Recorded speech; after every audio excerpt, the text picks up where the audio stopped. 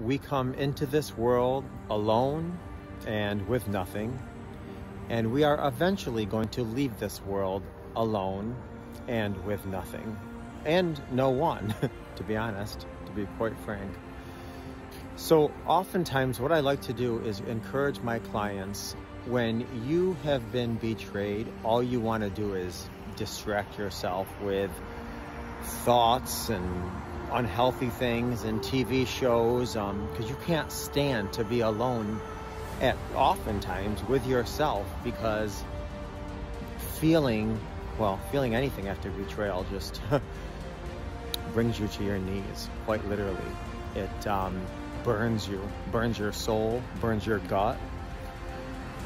So I recommend going out late at night, going for a walk, and forcing yourself to be with yourself.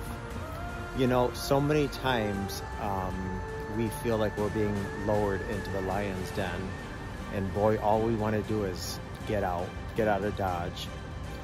But I encourage you, allow yourself to be lowered into the lion's den so you can prove to yourself how absolutely powerful you are.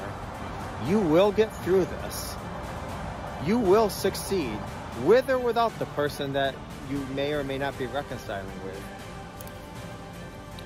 Allow yourself to be lowered into that pit, fight off those lions, and walk out victorious, helping the people that walk out behind you.